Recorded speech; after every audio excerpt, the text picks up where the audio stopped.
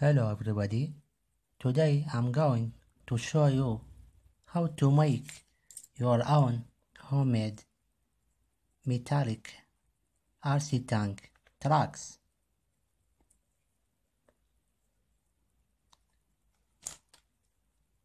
Here I show you various types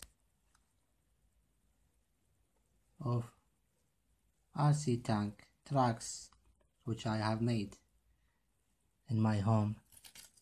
Actually, this is the first one. It's totally failed to work because I was det determined to make it 100% by on my by my hand so the distances and dimensions as you know by handmade would be not successful. So I've chosen to make another choice. So I thought that the main problem is to get a hinge a things then I attach I will attach screws.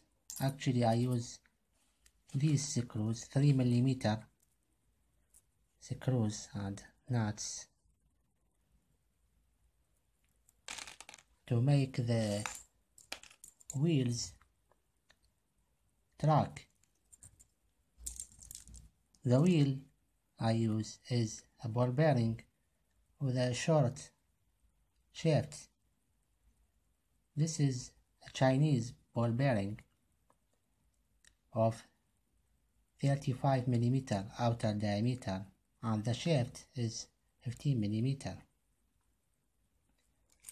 So the roller of the tank will be fitted like this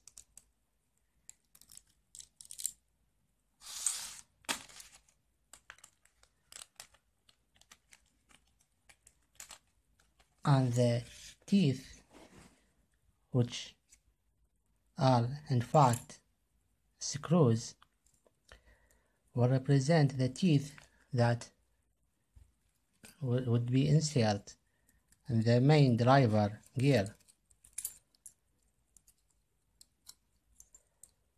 I always try to make all things by my hand and to avoid the manufactured parts. So this is a driver gear I have shown my earliest videos. You can make it from iron plates 1 millimeter this one and uh, draw a circle of 30 millimeter 35 millimeter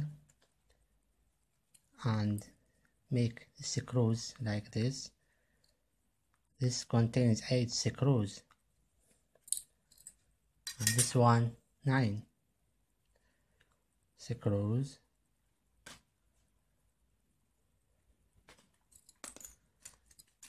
Okay.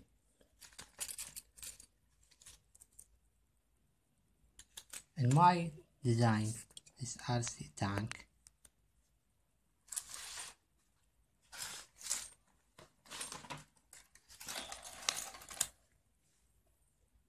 I used a wider as a tank track.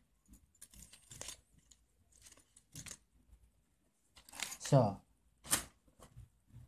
the main gear has been driven by a servo motor. I brought you various kinds of servo motors. Actually, the common design they use this uh, geared motor small DC motor attached to the gearbox. It's really powerful but I pre prefer to use servo motor, modified servo motor, and uh, scavenge its potentiometer to let it rotate 360 60 degrees. Servo motor is in fact more powerful